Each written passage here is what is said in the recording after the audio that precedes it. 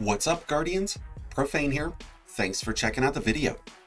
With Destiny's most recent update, we saw several adjustments getting made to the sandbox in both Crucible and PvE, and as a result, the DPS meta has seen some major realignments, with a number of weapons getting significant damage improvements. So if you want to stay on top of the leaderboards when taking on raids and dungeons, then you'll need to know how these changes have affected your loadouts. While the Dragon's Breath has seen its time in the spotlight this season, there's now several other weapons that are primed and ready for top tier DPS.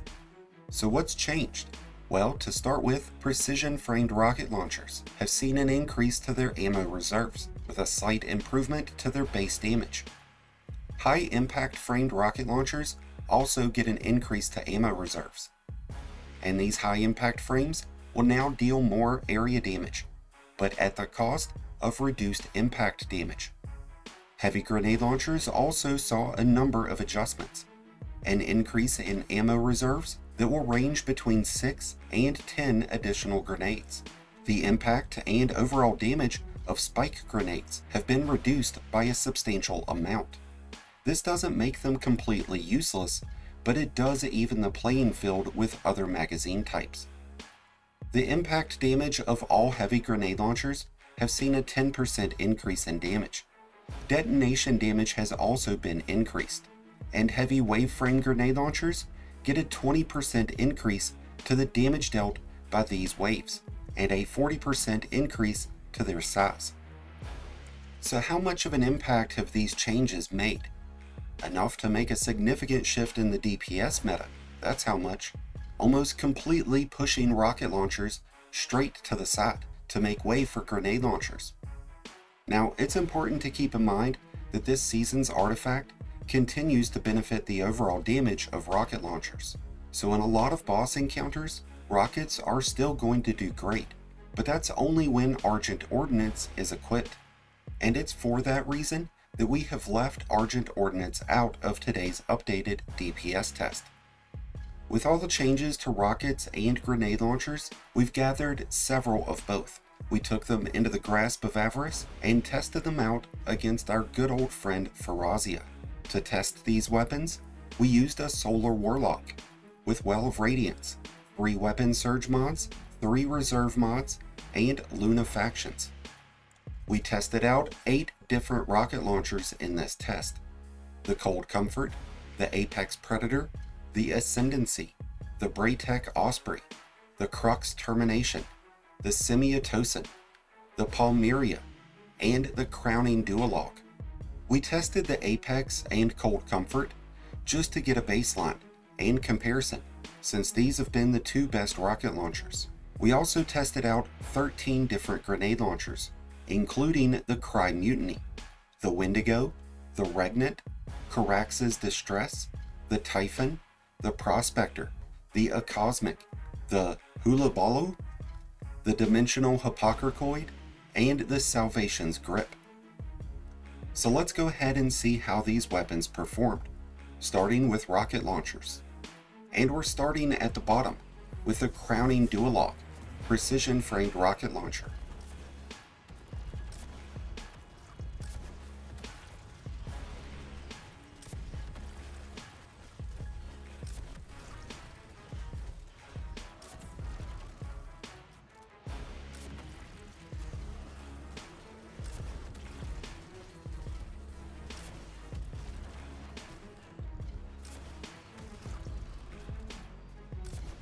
With a weapon trait to boost its damage, it could have put up better numbers, but this has always been more of an add clear utility rocket launcher.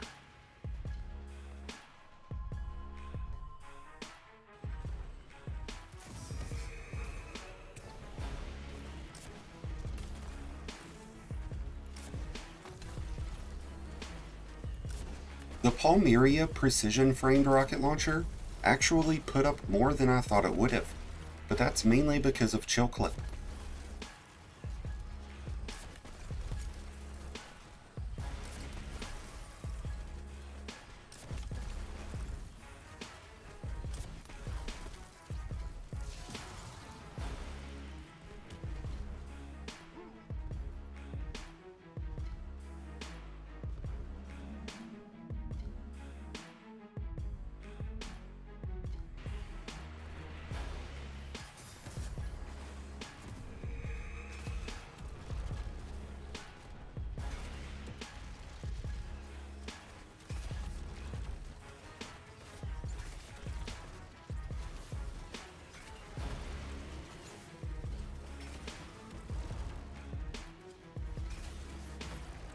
With the improvements to ammo and damage, I was honestly expecting more out of the Semiotician, especially with explosive light.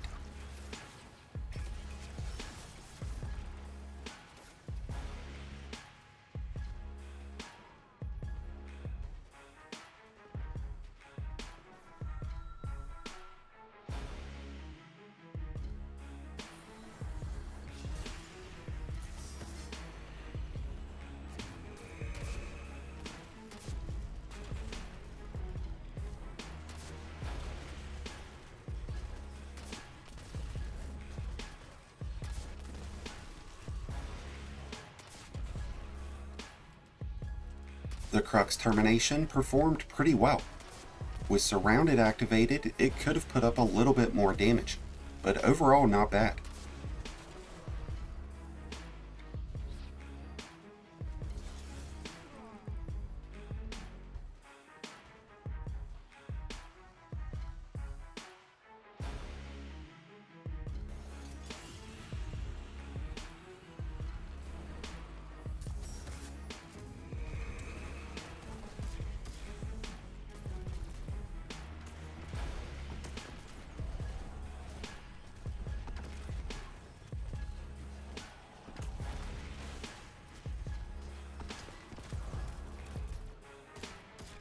The Apex Predator put up right around what I was expecting, but what was more surprising is that the Apex didn't finish in the number 1 or 2 spot.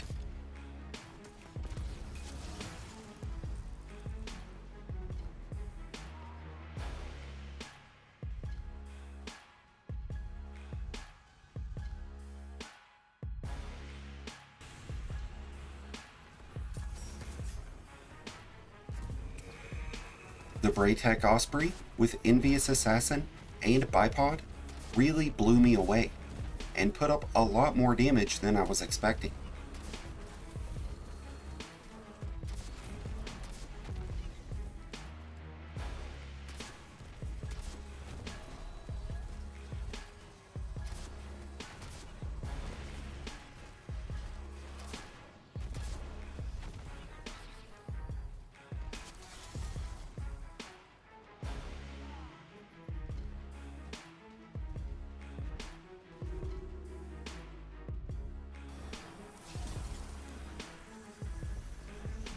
Pulling out an old school precision framed rocket launcher, we even tested out the Ascendancy. And I was surprised once again to see that this weapon put up almost 1.6 million points of damage.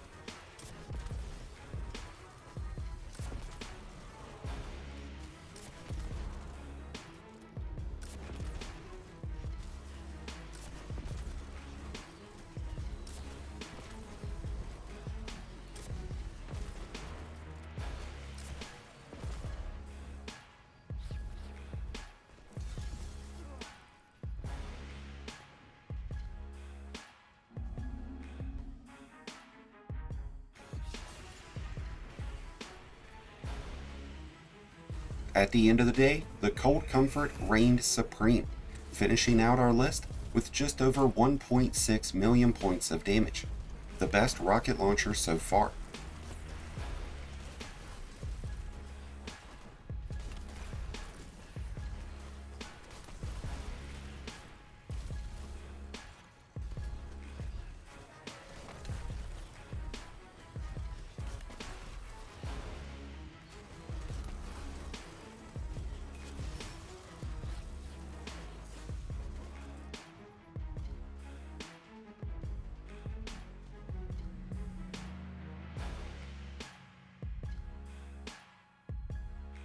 So not bad, right? Well, just wait till you check out these grenade launchers.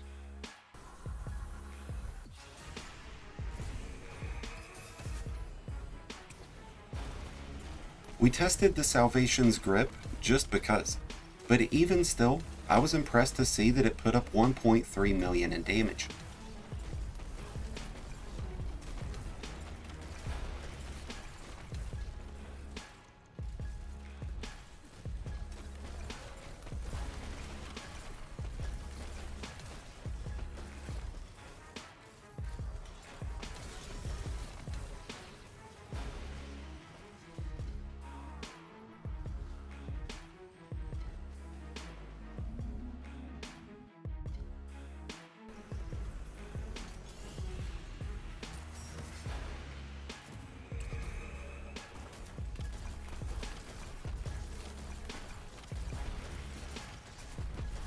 I was hoping the Dimensional Hypotrochoid would put up better numbers, and with a damage boosting weapon trait, it would do a little bit better. But in the end, this grenade launcher just continues to be better suited towards ad clear.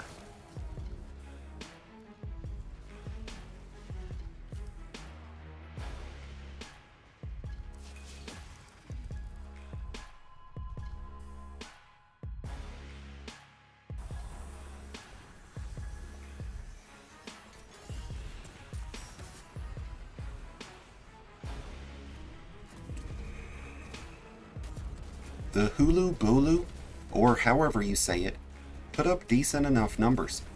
I'm sure with better weapon traits, it would have performed better, but this weapon just came out, and I'm still grinding away for a better version.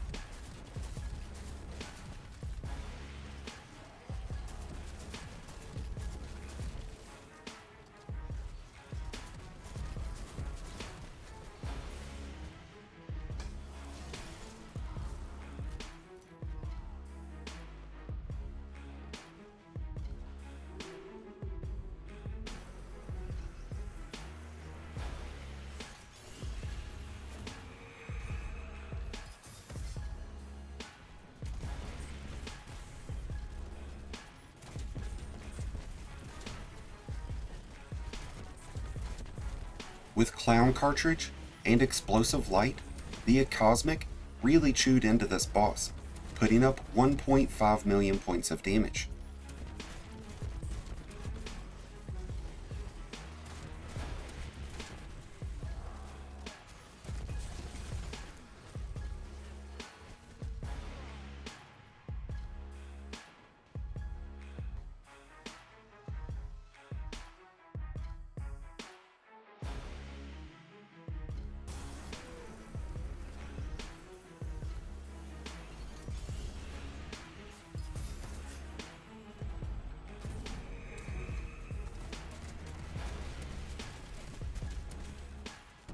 I had a feeling that the Prospector would perform well, and it certainly did, surpassing that of the Cold Comfort, finishing out with 1.73 million points of damage.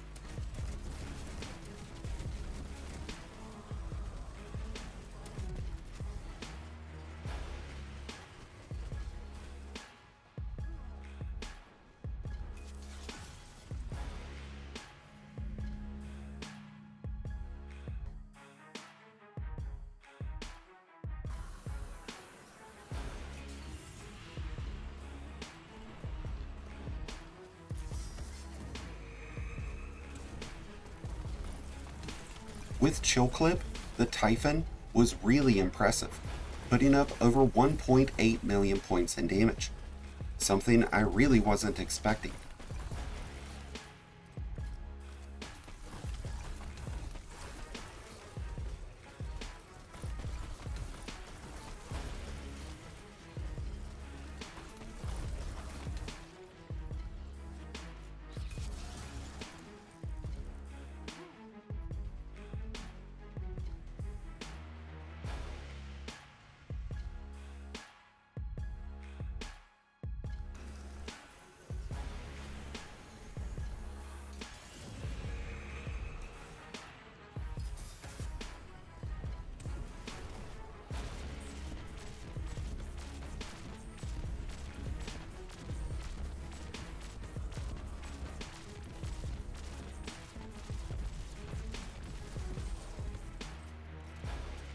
Before this update came out, I was expecting that the Regnant and the Wendigo would be the two best grenade launchers. And when these changes went into effect, both of these weapons exceeded my expectations. But between the two, I think that the Regnant has the most overall potential because we were able to empty the clip so quickly that we still had plenty of time to deal damage with any other weapon or ability.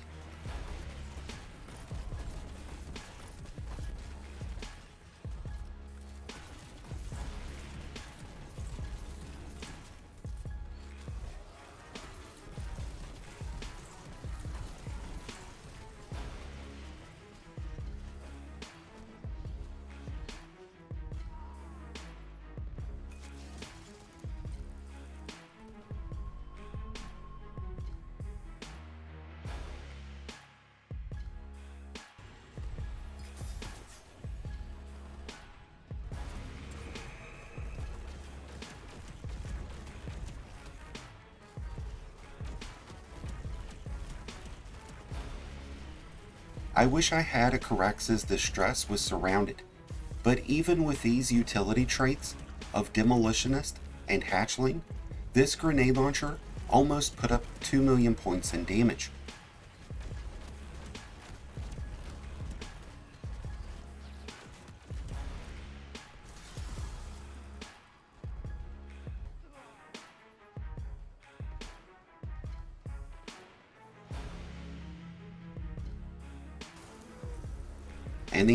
Grenade launcher left is the Cry Mutiny, and I guarantee that this wasn't on anyone's radar, but this grenade launcher just put up over 2 million points of damage, all on its own. So just imagine how much more damage you could deal when adding in other abilities, and weapons, or the effects of exotics like the Witherhoard or Lumina. So I think it's become very clear that without the use of Argent Ordnance, rocket launchers just don't cut the chud. Not in comparison to grenade launchers. Not anymore, that is.